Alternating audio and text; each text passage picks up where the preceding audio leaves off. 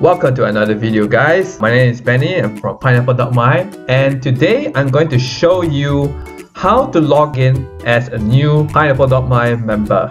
To log in back as a member, just click on the login button here. Simply enter your email, type in your password and there you have it. You are now logged in as a member of pineapple.my. You can check your P points, check your account information and check all the details on the left side alright? So this is the video guide on how to log in as a member. Do contact us at email at marketing at pineapple.my or whatsapp us at 018-968-5688 so i hope you enjoyed the video guys. We'll be here for you. Stay safe. See you soon